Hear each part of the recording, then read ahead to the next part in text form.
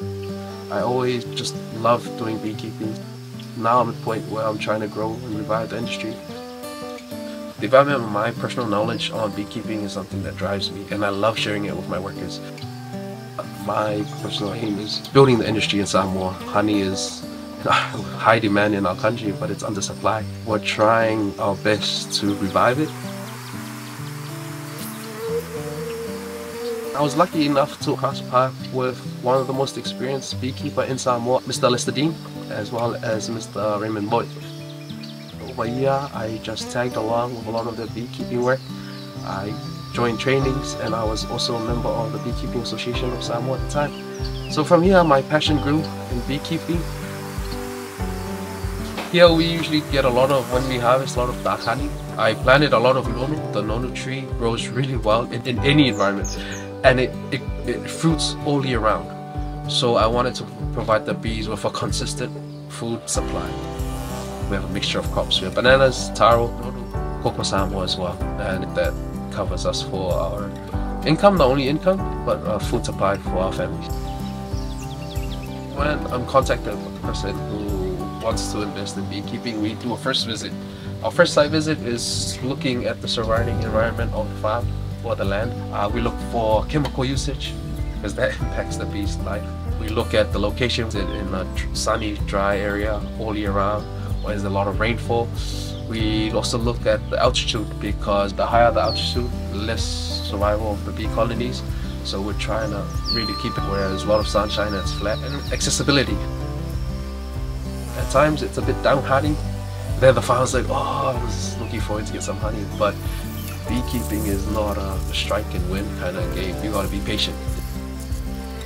We get to the beehives, we suit up. After we suit up, prep our smoker, the smoke is ready, then both of us had to have a hive tool in our pocket. Make our way to the hive. First things first, you add smoke to the bees, calm them down, let them know we're there. A lot of my jobs is on pro bono basis, uh, but it's fun because I look at it as a training, not as income. I look at it as a development for me and use that as our motivation, not by the income. We have hives that we do sell, so there are some people who ask us we sell them for the cover of expense. But what is really short right now is colonies. At times I felt like giving up my apiary in producing honey. At times my hives were dying, I had swarming, many problems came with it. But then there was always, always a solution, and um, I think what really helped me and pushed me is learning from the older beekeepers with the more experience exploring other products that could be made from honeybee. So me and the boys um, actually tried out beeswax and I was watching a lot of YouTube videos. So from there, we learned a long way of doing it. We had to boil the beeswax and extract it, filter, boil it again. It took hours. The product came out to be really good. We got 15 kilos of beeswax and at the time I didn't have a market for it. And then just a few months ago, I had someone reach out to me asking me if I had beeswax to, to sell. So I tried and I gave to them and now they're keep on calling, asking for more, but I just don't have the time, labor, or the machinery. So I'm asking SAFPROM for support here in this area. If I could just get a, a wax making machine, that would really help me. I also needed a honey extractor. I have my own honey extractor, but the capacity of it, it's really limited. You could do more productivity if you have a bigger one.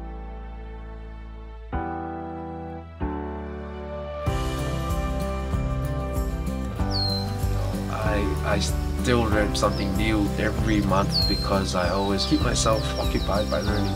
That's what excites me.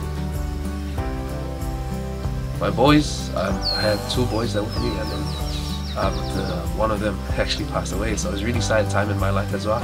Um, one of my boys, um, they've been with me and sharing that knowledge with them, it's to me the best thing because they respond. They respond to uh, how fun it is. I always talk to them, don't limit yourself. I see yourself growing. So if you do your own beehives, I'll be happy to help you set up. And that this is the best I can do is share my knowledge of beekeeping with you. That's the knowledge that you can help uh, provide for your family